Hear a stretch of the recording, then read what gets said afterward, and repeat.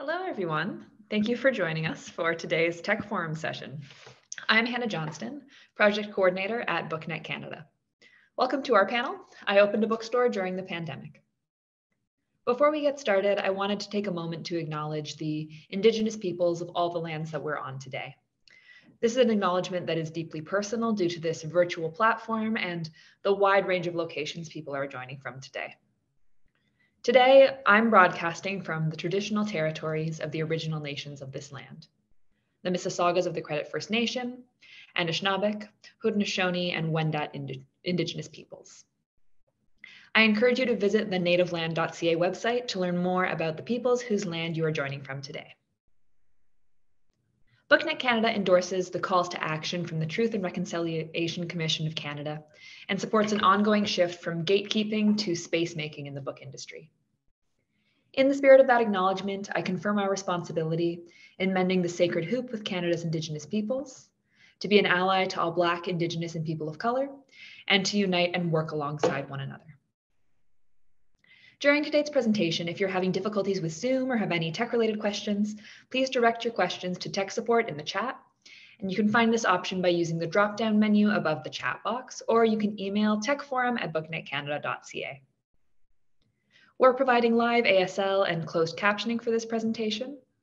To see the captions, please find the live transcript button in the Zoom menu at the bottom of your screen. Click on it and choose Show Subtitle. If during the presentation you have questions for the speakers, please use the Q&A panel found in the bottom menu.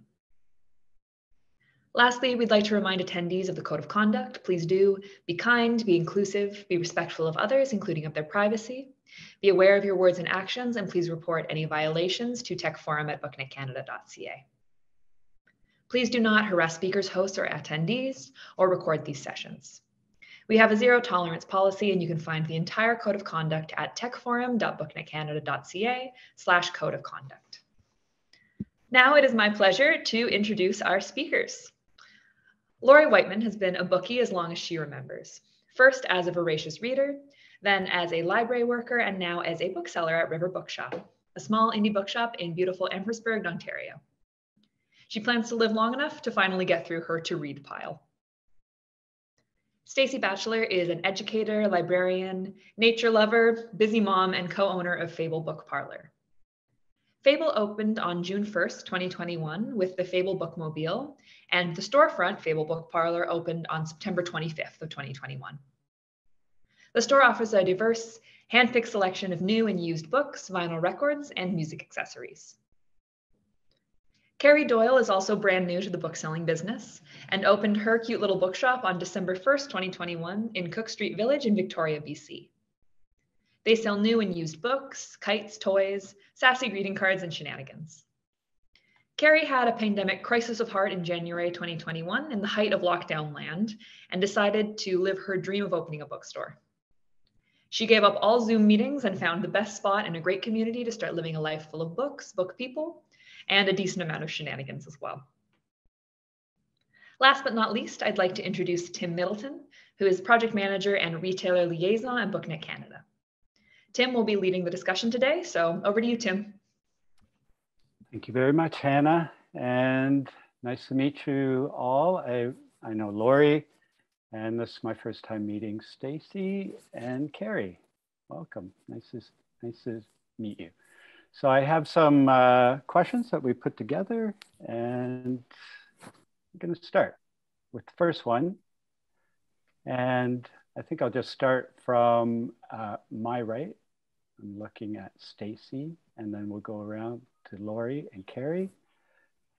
And our first question is, what sparked the idea to start a bookstore? I mean, especially during a pandemic. Did the idea form before the pandemic or during the pandemic? And that's your backstory. yeah, thanks, Tim. Um, so I guess I should have said in my sort of bio there that uh, I live in Revelstoke, British Columbia. So it's a small town in the interior of BC. Um, we've had a bookstore here for many years. Uh, she was ready to move on. I think she had moved to the States and you know was ready to to change it up um, i didn't actually realize that she was going to close until after she'd closed Uh, and then I was cross country skiing with a friend, and I was like, I can't believe we're not going to have a bookstore. You know, every town needs a bookstore. Um, and she had said to me, "You should open a bookstore." Um, and I kind of went like, "No, no, I've never wanted to be a business owner."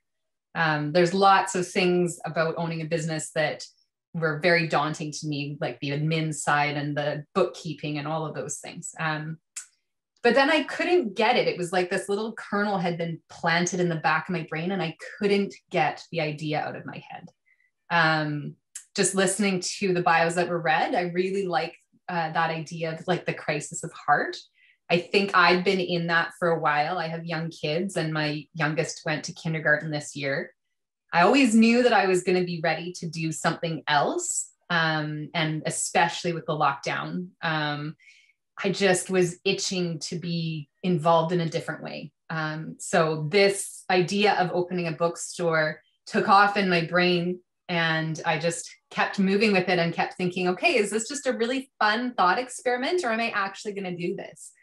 Um, and I came to the point at one point that I decided, yes, like I want to do this. And um, I found some business partners, which made it possible for me because I have a husband who works, you know, many, many hours and two young kids. I didn't want to be in it by myself. So um, I have a couple amazing business partners and and here we are you know just almost a year later from even having that seed planted and it's grown into something super meaningful to me.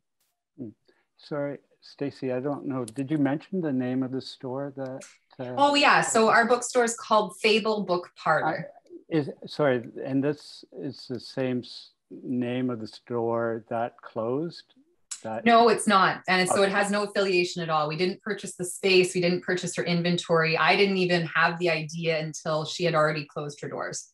Um, and sorry, we we offer something quite different. It, hers was only new inventory. Um, and so we do new and used, and we haven't had a music store in Revelstoke in many years either. So we sell things like guitar strings, um, picks, ukuleles, vinyl records, vinyl players. So we're kind of part part music, part books.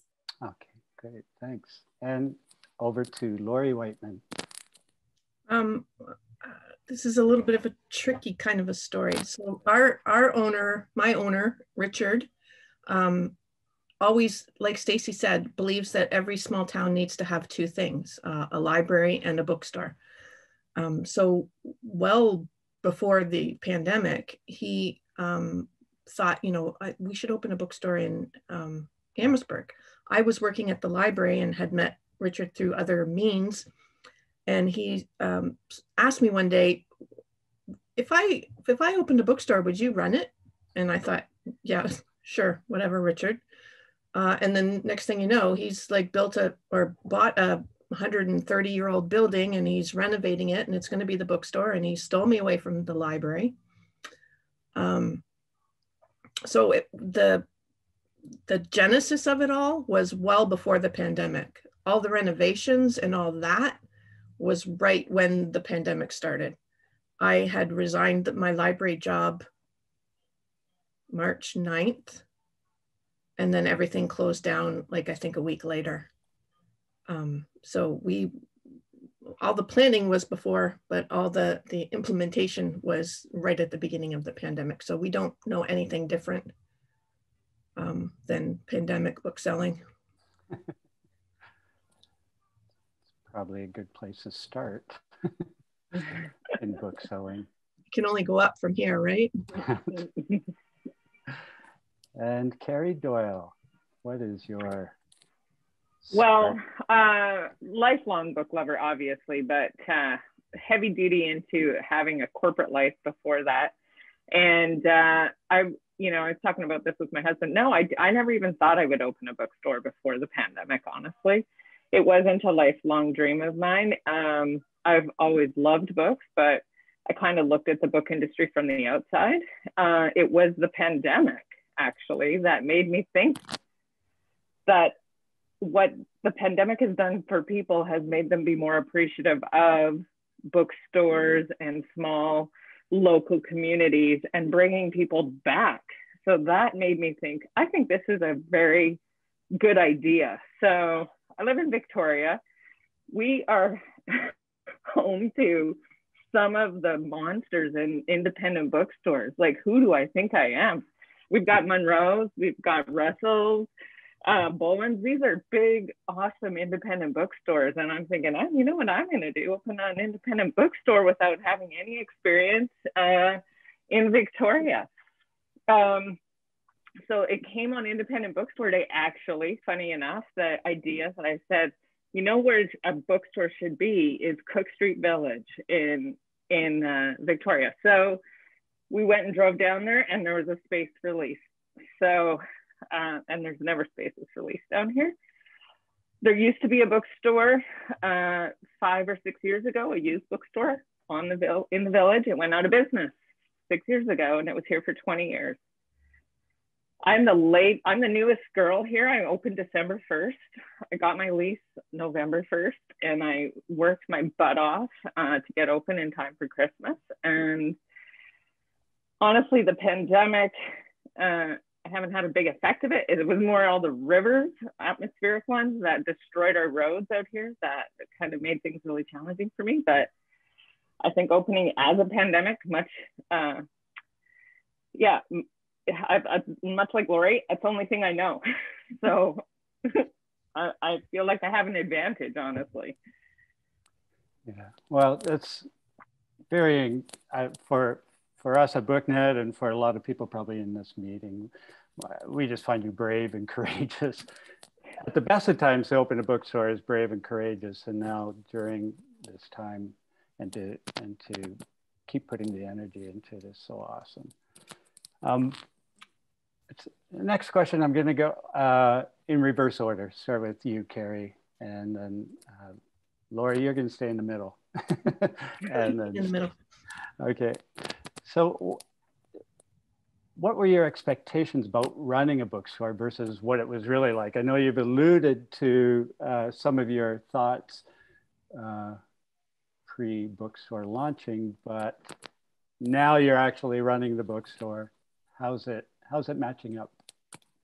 Um, honestly, this is I'm keep in mind I am not two months in, so I I have um, really rose-colored glasses potentially, but it is the best thing I ever did. So it's actually way more awesome than I thought it was going to be. Uh, like you know, I have had a business before, and um, I, and it was fine, but this business is it is just all of the awesome. Um, the people that come in, they're so excited to see me.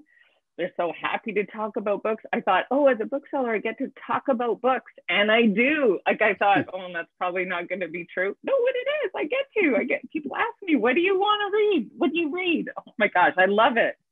Mm-hmm. Um, the one thing I guess I didn't know is just how much all I do is think about the bookstore at all times. Like I, I can't turn it off. So I just started closing one day a week on Mondays and I was like, I can't do bookstore stuff, but actually I have to. I like I just there's way too much to do. So that that part of it uh, I guess would be more of a surprise. The, the other big surprises, and that this isn't probably nice to say, I don't get the publishers and the distributors and how they do things. And I'm having a hard time understanding it. And I've been in other industries and I'm surprised by that about how complicated it is. It's just that part is surprising.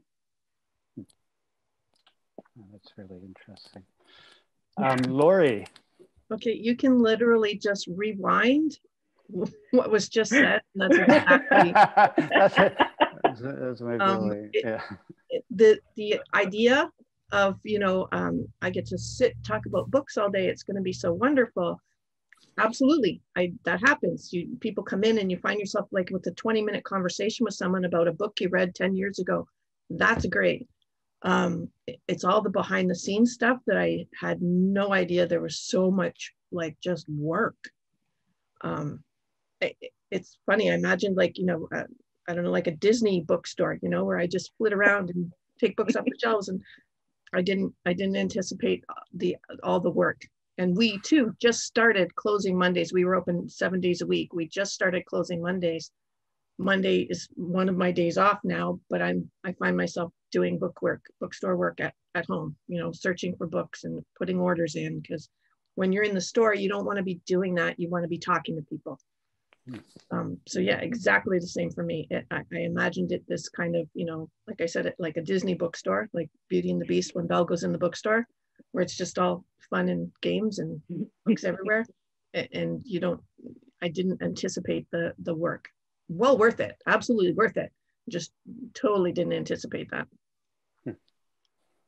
Stacy, do we just uh, hit the replay button for you? a little bit, although I'm feeling rather spoiled because um, because we have I have two additional business partners. One who does the music side of things, mm-hmm. and one who um, sort of does everything. But she comes from a retail background. She also worked at a bank. Um, and she actually enjoys like the administrative the like bookkeeping she does our cash flow stuff she does the like i know how to do the ordering but she is the one who connects with the distributors um, so I I'm very spoiled. I definitely feel like I get to just swoon in and talk about books, um, which is absolutely wonderful. You know, it really is so much fun. Um, things that have surprised me that I didn't expect um, in a small town is I kind of, I mean, I knew people were keen on it, um, but the amount of support from the locals here and the amount of enthusiasm, you know, for me, um, just my personal interest, a big part of it was creating a space with like a real energy. You know, I spent a lot of time on decor and what it's going to look like and what it's going to feel like and how it's going to flow. Um, and just having people come in and say, which almost happens every day, someone says, this space is just so amazing and the books that you guys have picked like the amount of positive feedback like i knew people would feel that way but people go out of their way to express it um, and that feels so wonderful um, so that was a bit of a surprise to me um, the other thing that i find surprising a uh, couple things is the amount of power that you have to hand sell things as a bookseller. I mean, I, I knew that I would talk to people about books and I wanted to. And so um, I love that part. But, you know, I have, you know, every time I read a book that I really like, um, I look at the sales and it's significant. The number of times people come in and they're like, well, what do you think? And I'll say, oh, I've read this. This is what this is like. And they end up buying them consistently, you know, which I kind of, I mean, of course they do it makes sense. But uh, at the same time, I kind of thought people would say, oh, okay, well, that sounds interesting, but I'm going to buy this, you know? Um, so the power of sort of hand selling really is stronger than I thought it was. Um, the other kind of thing that just sort of randomly I didn't anticipate so much is the amount that TV and movie adaptations, mm. um, the amount of effect that they have on book sales. So Dune, for instance, which you know we know is a sci-fi book written in the 1970s. It's already been made into an adaptation, you know. Anyhow, um, with the new movie coming out, we ordered a few extra. Um, but I didn't anticipate the amount of demand for that given the, the movie has come out. So it's kind of cool to see how culture kind of vibes between um, sort of popular culture in TV and film and um, books as well. So that's uh, that's been kind of a fun surprise for me too. Yeah, that is, I mean, those, those are such great uh, stories and alluding to the superpowers of the hand selling bookseller. Uh, it is like a superpower and it's, it's nice to have that maybe like a little bit like mind control or something like that. Well, and I just love, I love when I do that and someone buys the book and then they come back in and they say, oh, that like you recommended that and I loved that. And, you know, it's just, I guess that, that continuous relationship um, is just so wonderful. And building up that trust. Yeah. Yeah. Okay. I'm, I, I should say that I do have a background in book selling as well. I worked in almost every bookstore. I live in Guelph and I can just sort of agree with everything you're saying. I've, I've never owned a bookstore, but all, all these things are just ringing so true for me. I guess third question is, would you say there were unique challenges you faced opening your physical and or virtual doors during a pandemic? Now, this might be a little tough to answer, um, not knowing what the challenges would have been otherwise, but do you see that there were unique challenges? I'm going to start with Lori. I know you've alluded to some of the unique challenges. So. There were. Um, I think it's kind of a double-edged sword. I think, at least for us, because um, we had renovated an 135-year-old building right in the heart of the downtown of our small town, we had a lot of buzz before we even opened. So we were lucky that way because people had heard about us. We had started our social media well before we had opened. Um, I think we started our social media in March with just kind of, you know, get your bookmarks ready. We're opening summer 2020. So we had a lot of, of um, a lot of uh, word of mouth and, and, a lot of uh, buzz about us.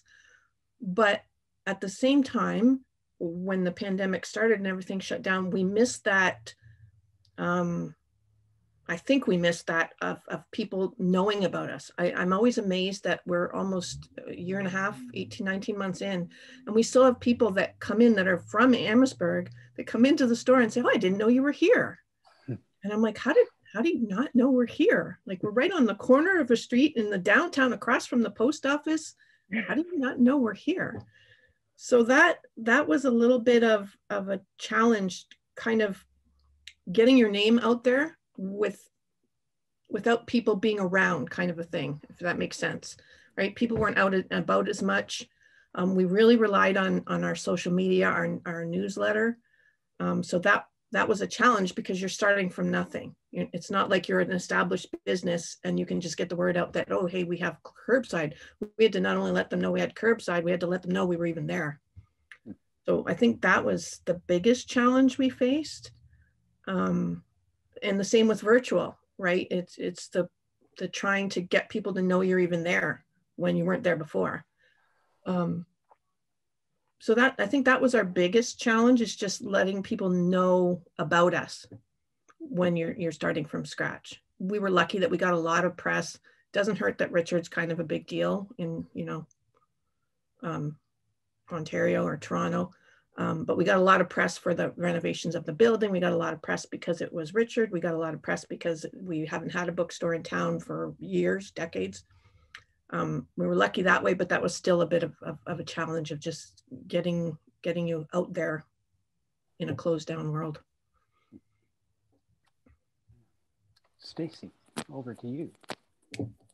Yeah, I think for me, um, for us, one of the biggest challenges was just sort of anxiety around what was going to change, you know, in terms of numbers and, you know, how many people are allowed in the store. Are we going to go back to lockdown? Are we going to? So, we what we did is um, I had seen online this little travel trailer that someone had cut the side open um, to make an awning door, and it was like a little mobile hair salon or something for weddings, something like that.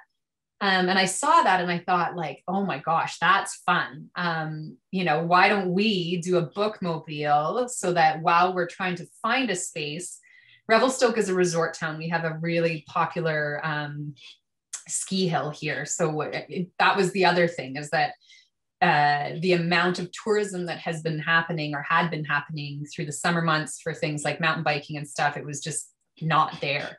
So, you know, part of my fear was without that um, sort of influx from sort of that resort town from people coming from elsewhere are we going to be is this a viable business you know will we be able to to operate that way um, anyways backtracking uh, it was really hard to find a space that we liked um, and i didn't want to settle on something that didn't feel like it was in the right place so in the meantime what we did is we created this bookmobile um, we towed it around town to different parks and different areas um, it was a lot of fun. And it, it ended up being, even though I came to it mostly because I thought it was just really cool, um, it ended up being a great solution during COVID because there were times we opened the bookmobile the very end of May.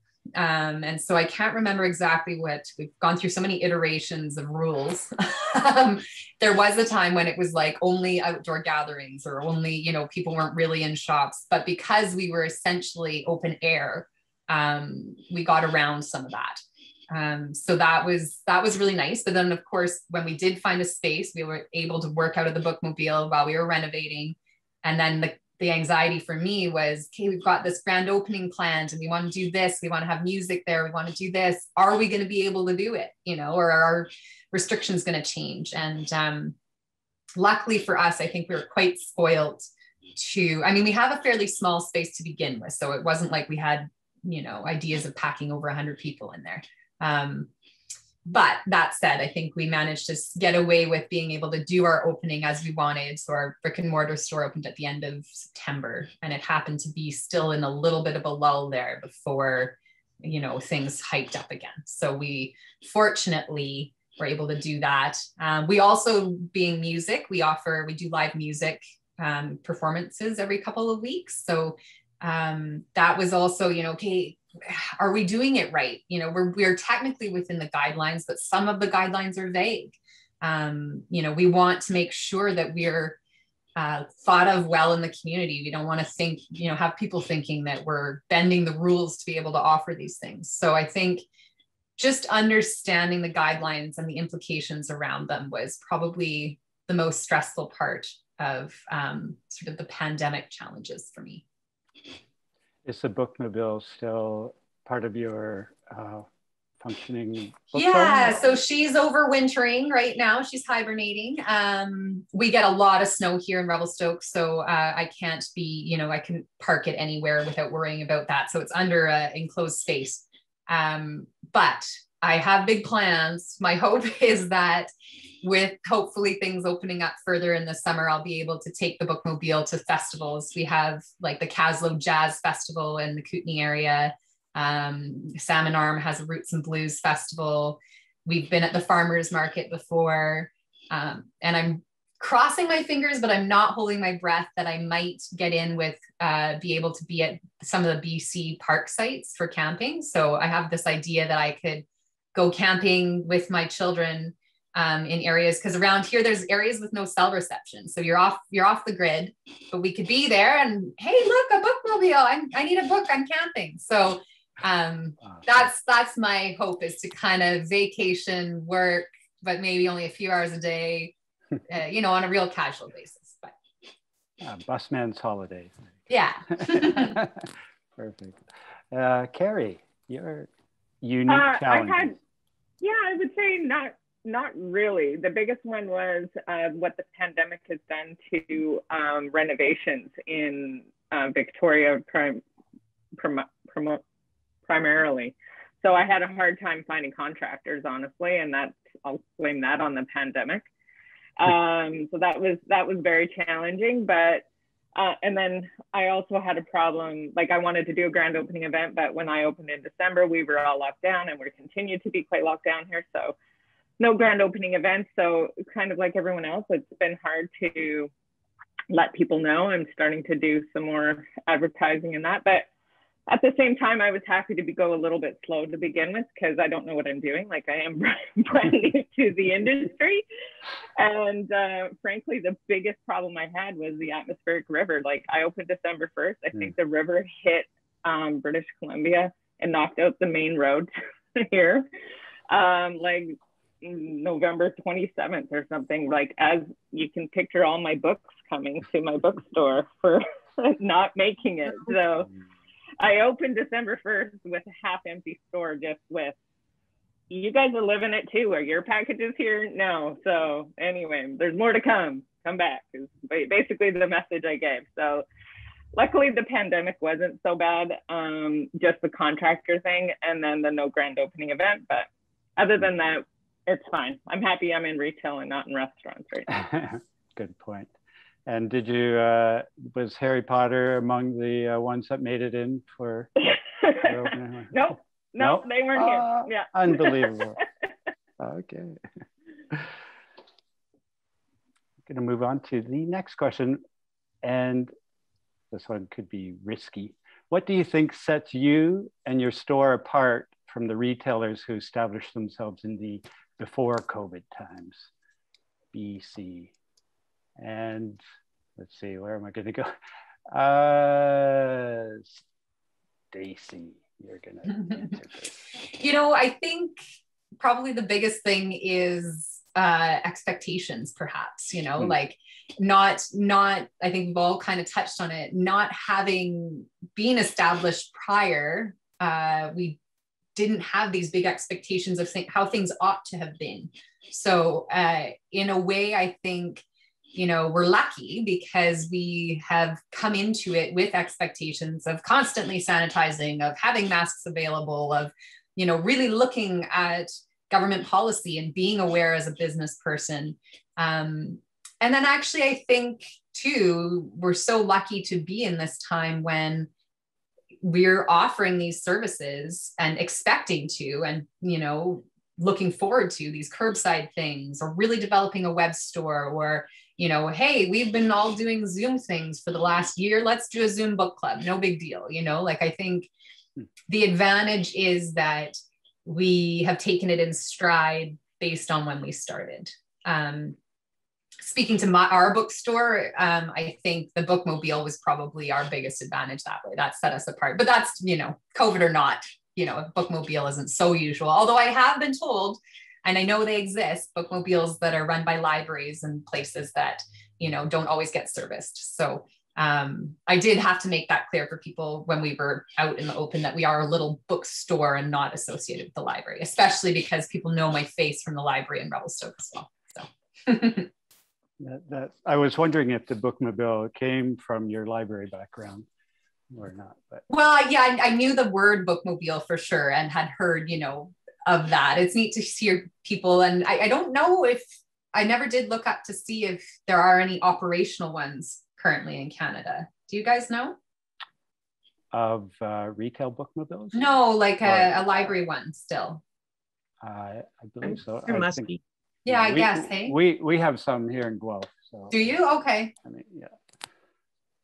Always my favorite part. I worked at a library too, at the library yeah. as well. So.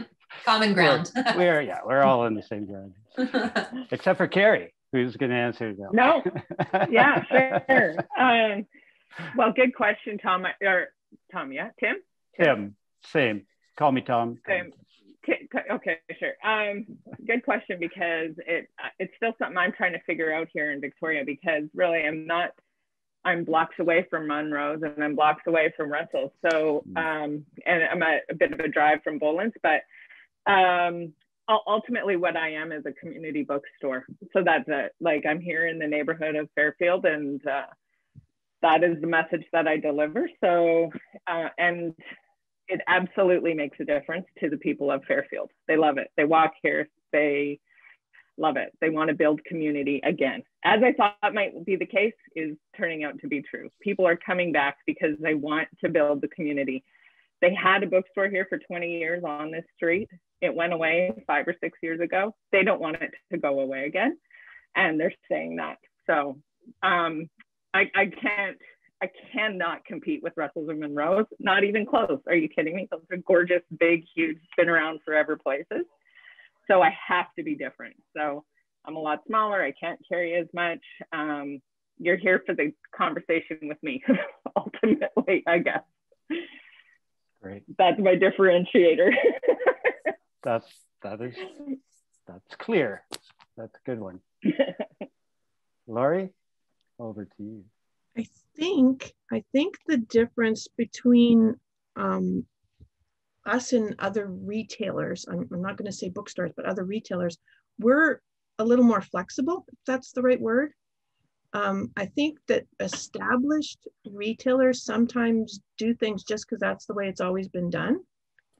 And with us opening in COVID, like Stacy said, you know, one day you can do this, but the next day you can't do that. You have to do this. And we've just um, learned to be way more flexible. Okay, we can't do that. Well, how will we do this? We couldn't have, you know, in-person book clubs. So, okay, we'll do virtual. We were, you know, then we can open up, but we can only have a few people in, in the, the store. We have an event space upstairs. So, and I don't know who, what angel we had on our shoulder, but our event space is set up so that we can do virtual, we can zoom out to people, but we can also zoom people in.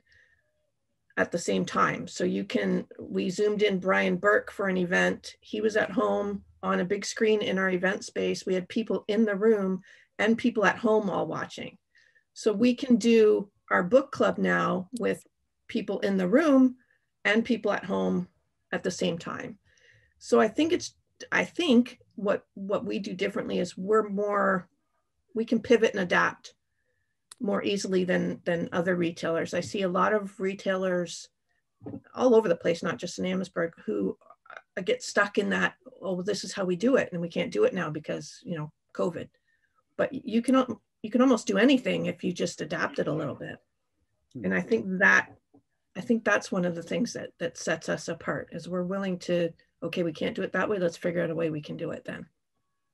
Yeah, that is that's an awesome uh, perspective, and I think you nailed it on the head for sure. Just that uh, you you came in at what everyone is saying, uh, you know, leapt retail ahead 10, 15 years, but you didn't know that. you were just there at the beginning, and uh, that flexibility is awesome.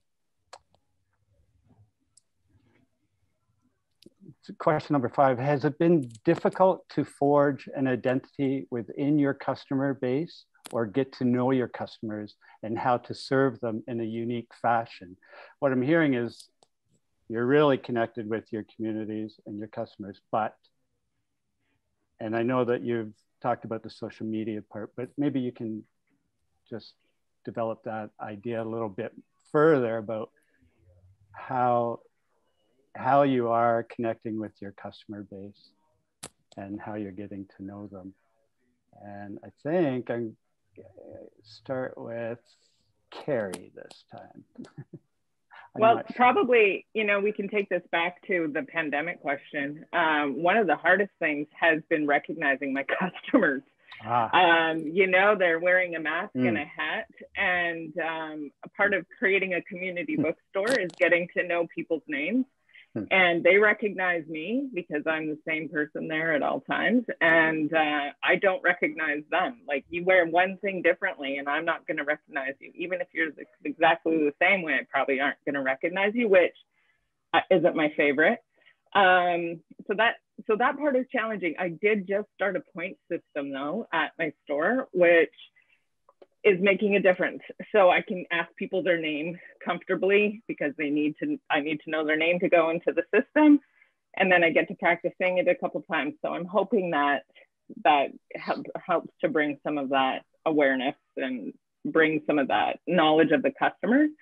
Also, because it is just me, I get to say, what do you want to see in the store? Do, do you like what you saw? Um, talk to me about, I'm an open book. Like, what, what kind of books do you want to mm-hmm. see? What kind of um, kid stuff or whatever. Like I'm, I'm kind of, there's no toy stores here either. So I have a fair amount of those things. So I'm very open to it. It's really just asking and they love it. They love having a say and they like when they come in next time there's what I, I brought in what they, what they requested. So they have a say. It feels like their community bookstore. Lori. Uh, this is a tricky one because like I said before, that the background stuff in the store that you that you have to do is so not what I expected. So the learning curve there has been like straight up, no curve at all, just straight up line. Um, but the curve, the learning curve for learning about your community is such a longer one, especially if you've been, you know, you have to close down. You can only do curbside. You can only have so many people in the store.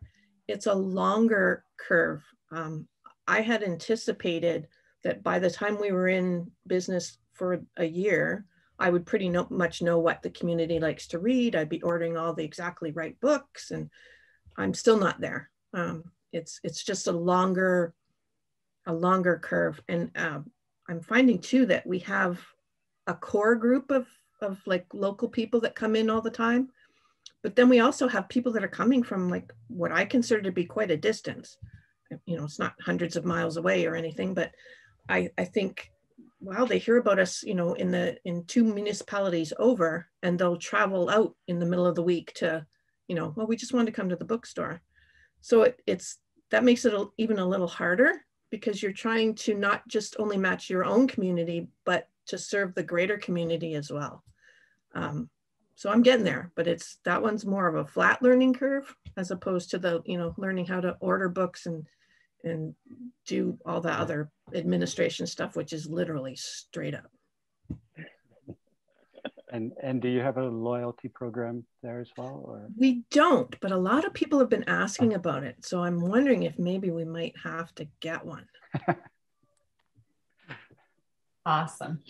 Yeah, um, I don't, it's interesting. I think being in a small town and having been here for a while um, in different roles in the community and having done quite a bit of volunteer work, um, it's, I feel that I kind of already had a basis for that um, relationship with my customers. And then also because we're three different owners, um, each of us with quite different personalities and backgrounds um, we each kind of have that connection in a town that is, you know, Revelstoke is, I think, about 10,000 people. Um, I mean, our population skyrockets this time of the year often. This year's been a bit different, but generally speaking, tourist season is a big thing for us. Um, but realistically, I think we had quite a basis moving into the business. Um, so that piece I didn't find too difficult forging that unique identity. Also, because we are servicing this music side of things which has been quite neglected in our community for some time you know we we have the bar that you could go and do an open mic at and then we have a beautiful performing arts center um, which pre-pandemic brings in performers from all over the country who are spectacular um, but it's not there was sort of a gap for you know um, performers whether it's spoken word or music or what have you that aren't going to play to the huge performing arts center but don't want to just be background music at the bar.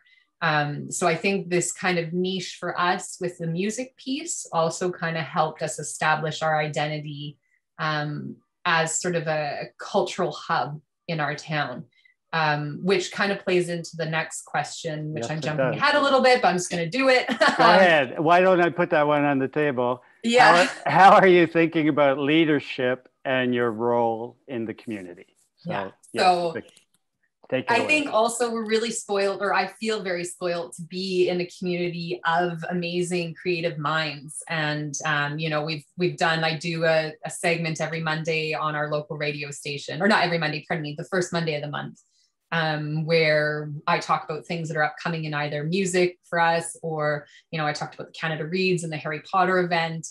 Um, we've had lots of artists and other people displaying their artwork or wanting to do kind of some collaborations.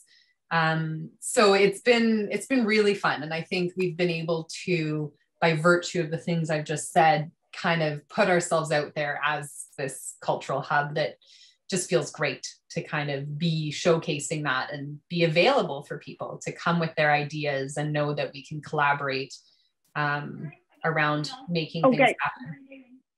Good.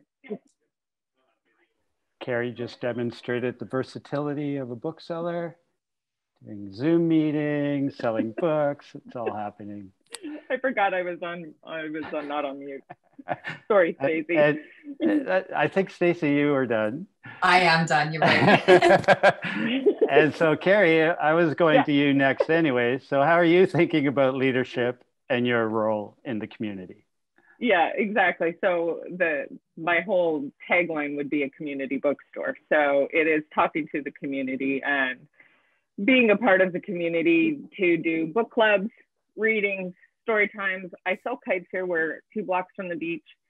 Nobody in the area sells kites. We're doing, I had a kite guy come and say, I will come and do a kite building workshop here. I'm so excited for it for the kids. So what I just need COVID to go away a little bit so I can really open up this stuff. But um, I sent it a message. I think they got the message, so it's going to go now and uh, that's how I'm going to do it. It's just through events, very small. Like we're a small community bookshop. I don't have big dreams of taking over Victoria, but Fairfield only. and over to you, Lori. Um, I love this question because this has been like a, one of our core values at, at the shop is that we want to be a third place.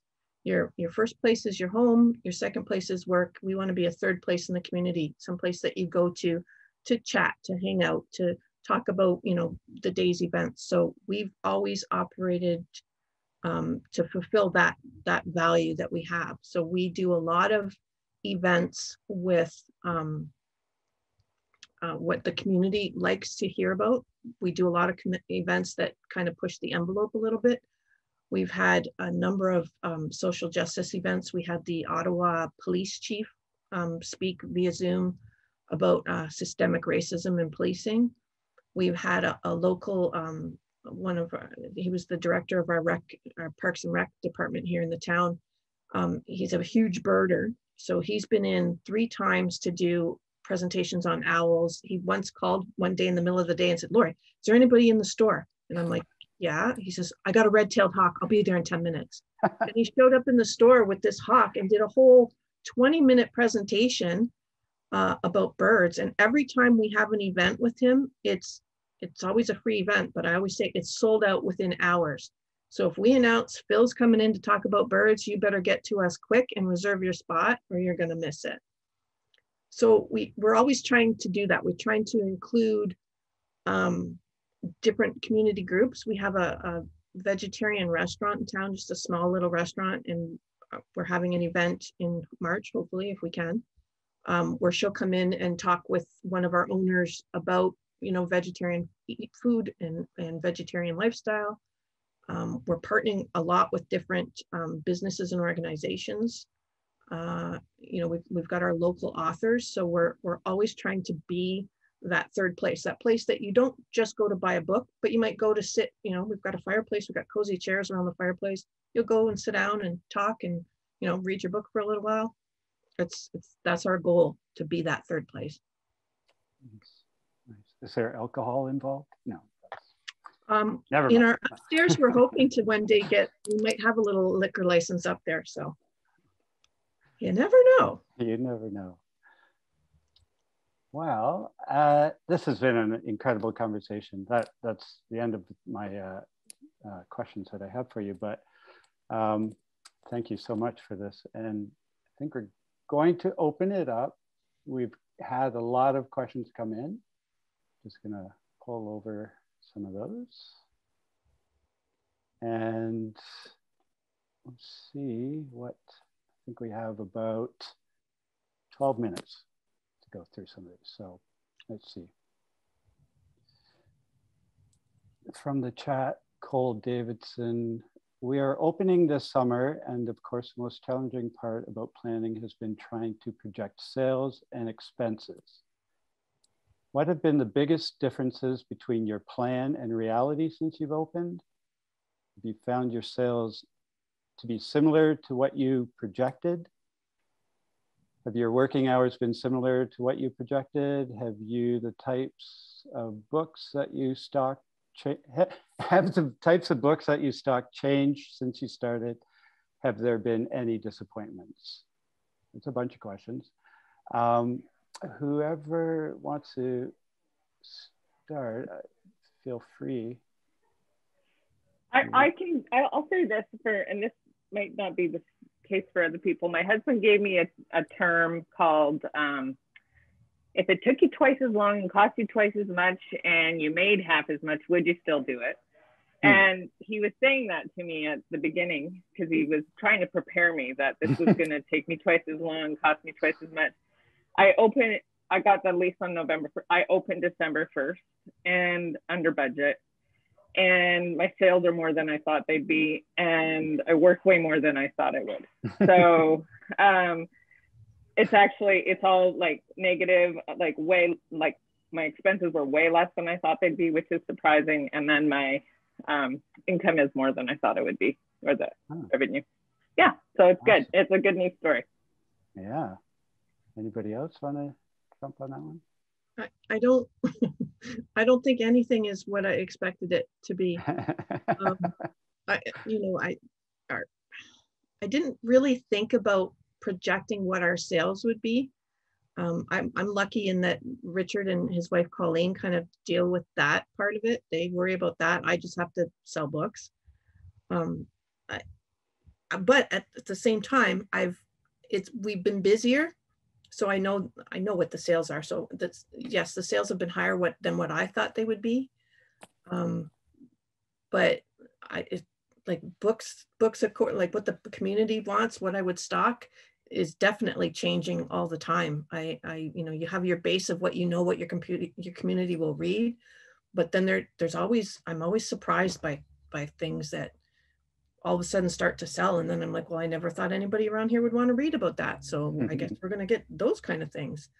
Um, none, no real disappointments. I, I think that's a, a result of COVID. I don't get disappointed about things because I just, you just assume that, you know, the next, I don't know, I don't want to call it a punch, but you just assume the next punch is coming. So no big deal.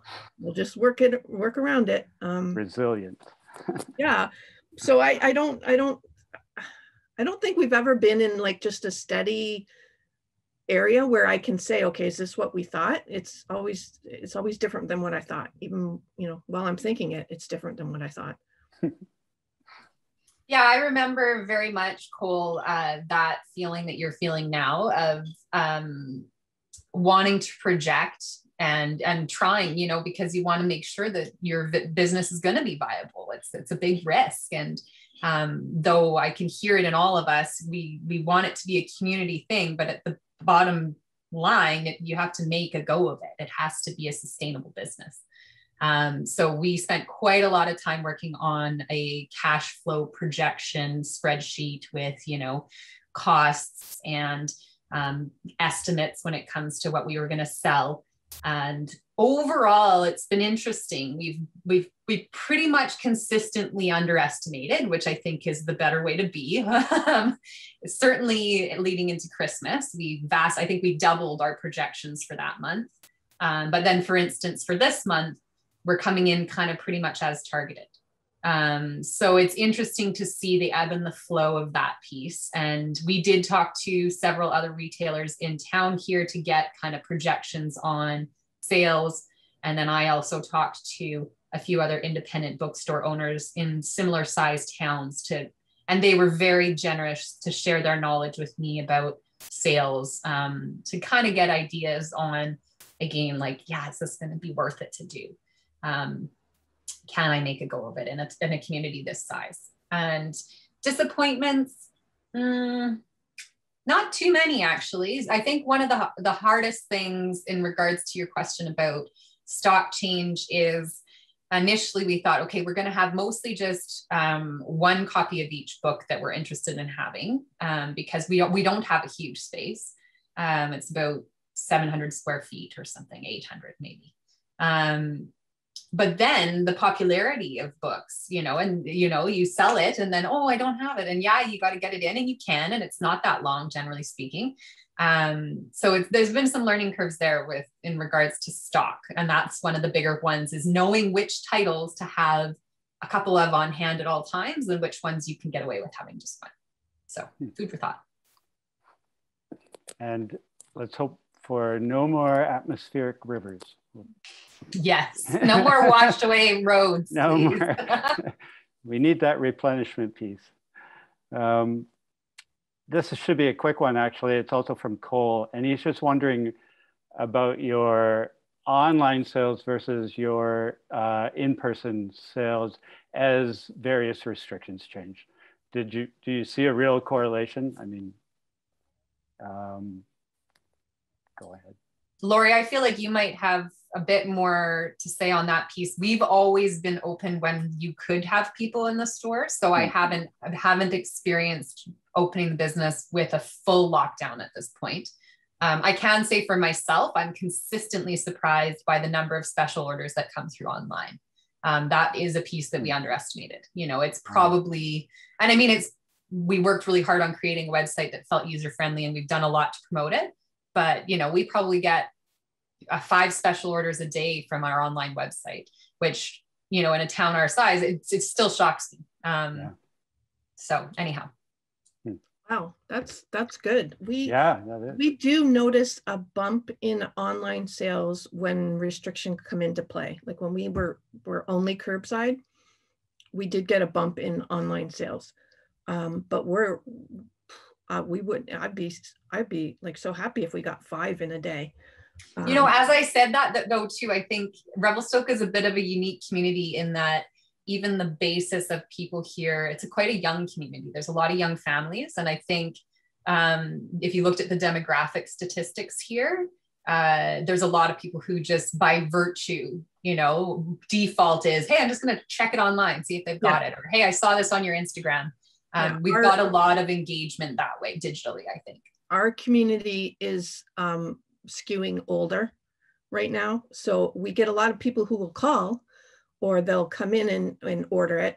Um, but not, not, it, that doesn't translate into online sales. I, I don't know if that's just because our community skews older or if it's a, a bit that, again, like people don't think to do that. They don't think of, you know, that they can do that. Um, but yeah, I do notice that when, when we go into restrictions, we do get an increase in online orders. Definitely. Carrie, I'm, going to give you a pass on this one. and, um, but I am going to start you off with this next one, which may take us to the end. I'm not sure. Uh, we have about four minutes left to go.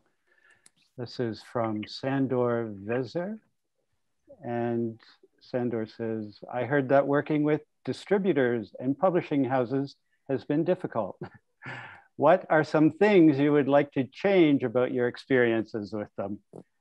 honestly tear it all down tear it all down build it back up um, I, I i don't know like they um it, as somebody that's coming a complete new outsider to the industry i cannot believe how it works like i have to match up these invoices and random things ship and don't ship and why I put in one order, just send me one bill, please. Thank you. I we will match those two things. so uh, so there's mostly that. And then as I'm just I started off only with two um, two accounts and now I'm adding a whole bunch more now that I have some breathing time this month to add the rest of them in. And they all got different rules I've noticing. And uh, these guys pay for shipping, but these ones you don't. And uh, anyway, it honestly they could start over. I, I don't even have something awesome to say because it it seems like such a mess. um, sorry, I hope there's no publishers on here. Oh, I'm sure there are. and I'm Oh, sure sorry. they've never heard this before. But, um, I would say for me, it's finding the ones that you like to work with and sticking with them. I, I do have a few that the reps are excellent. If I ever get a damaged book, it's dealt with quickly. Um, the big challenge, of course, is that each one invoices and ships and does all those things in different ways. Um, some of the frustrations I've had is, you know, there's some great reps or great uh, distributors that are based out east. And if I don't phone at exactly the right time here, being in the west, like getting them on the phone, if I ever need to talk, can be a real thing. Mm. Um, but yeah, I think, I mean, in an ideal world, it would be great if the system was consistent and simplified so it was the same. But um, I have a book that has, you know, the, the distributor name and those details in it and i have my few that i they they operate the way that works best for me and so i mostly rely on them Yeah, I'm, I'm a year and a half in and I'm still like shake my head at why are we doing it like this? Like this, this is so complicated when it can be so easy. Um, and it's, uh, I, I need to get a book. I have a folder, but it's all just a mismatch. So I need to get a book and have it be like that so that I can look at, and then, and then they'll go and change like a, a one how one publisher will change to a different distributor. Have they done that to you yet? yeah I just got used to this one. Okay, I know that book. I know I have to order it from here, and now they've changed it. Oh, I can't. I just out can't. of curiosity lori how many different distributors do you typically like how many do you have accounts with I'm gonna say at least fifteen okay because we've got a bunch of like little ones where people have ordered a book. So then I got to start an account with this person or this Mhm. company. Um, there, and I have my favorites. I have like three favorites, and I wish I could get every book from them because Totally. I hear you. Hmm. but I can't. So Uh, yes, perennial problem. I could tell you stories, but I don't have time because we are at 3 p.m. And that is the end of our webinar. I want to thank everybody very much for listening in. And thank you, Stacy, Lori, and Carrie for your awesome stories. And there's Hannah to say hi. Thanks for having us. Thanks, Tim. Thanks, everybody. I can uh, talk us out. So uh, before we go, I'd just love to ask you to provide feedback on the panel and the registration process. Uh, we'll drop the link to the survey in the chat, so please take a couple minutes to fill it out if you have time. And we'll also be emailing you a link to a recording of this session as soon as it's available. Uh, lastly, I'd also like to thank the Department of Canadian Heritage for their support through the Canada Book Fund. And thanks again to our panelists and Tim and to all of you for attending. Have a great afternoon, everybody. Take care. thanks. Bye.